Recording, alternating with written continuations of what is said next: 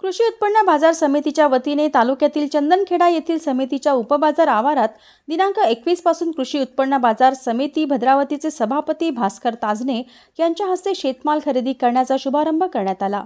खरेदीच्या पहिल्याच दिवशी त्र्याऐंशी क्विंटल शेतकऱ्यांचे सोयाबीन खरेदी करण्यात आले.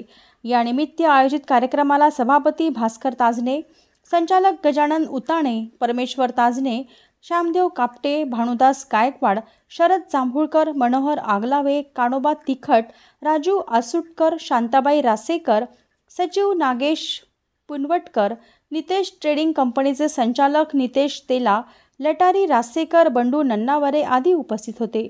बाजारात प्रथम शेतमाल विक्रीसाठी आणलेल्या हरिश्चंद्र रोडे व रवींद्र मेश्राम या शेतकऱ्यांचा शॉल व श्रीफळ देऊन यावेळी सत्कार करण्यात आला.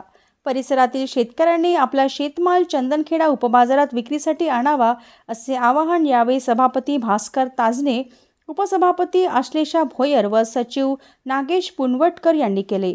कार्यक्रमाला यशस्वी करण्यासाठी बाजार समितीचे कर्मचारी विठ्ठल टोंगे विलास पालकर राजपाल भागवत हनुमान मगरे व्यापारी ईश्वर पोईंटकर व अनिकेत सरोदे यांनी सहकार्य केले.